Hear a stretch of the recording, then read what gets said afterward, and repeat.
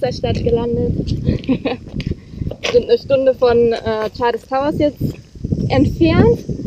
Und das war ein kleiner Tipp von, oh, von Robert. Er sagte, wenn wir Lust auf alte Gebäude und so eine, ja, so ein bisschen Geisterstadt-Atmosphäre haben, dann sollen wir uns mal Ravenswood angucken. Und äh, ja, es ist tatsächlich so. Also wir sind jetzt gerade erst reingefahren, aber es ist nichts, kein Mensch, außer einer, der uns direkt gefragt hat, ob wir bleiben wollen, weil die Backpacker brauchen. Ähm, also hier verschlägt es, glaube ich, echt nicht viele Touris hin, wenn man da so direkt angesprochen wird. Hat uns jetzt noch ein paar Tipps gegeben, uns zum Kaffee eingeladen. Also mal schauen, ob wir da gleich nochmal vorbeifahren. Aber erstmal gucken wir uns jetzt so ein bisschen diese historische Stadt an.